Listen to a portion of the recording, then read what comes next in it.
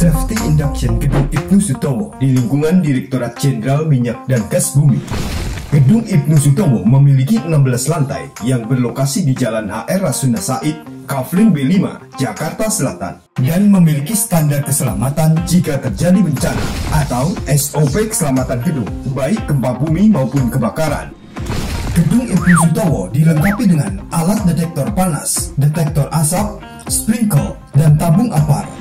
Sekarang Anda berada di lantai 16 ruang rapat strategis. Jika terjadi keadaan darurat, segeralah keluar dari ruangan menuju tangga darurat sesuai petunjuk peta berikut dan ikutilah arah tanda panah yang ada di peta. Jika terjadi kebakaran, tetap tenang dan tidak panik. Lalu aktifkan alarm yang ada di hydrant box. Jika terjadi gempa bumi, segeralah berlindung di bawah meja dan tempat yang kokoh untuk berlindung.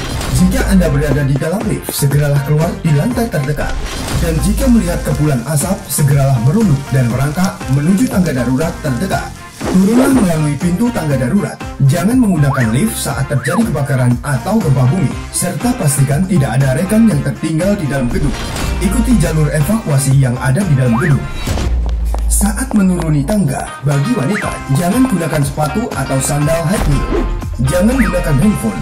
Jangan merokok, selalu berpegang pada handrail. Dalam keadaan gelap, handrail akan mengeluarkan cahaya. Kemudian ikuti arahan petugas evakuasi untuk segera menuju ke titik kumpul atau assembly point yang berada di depan gedung dekat pintu keluar.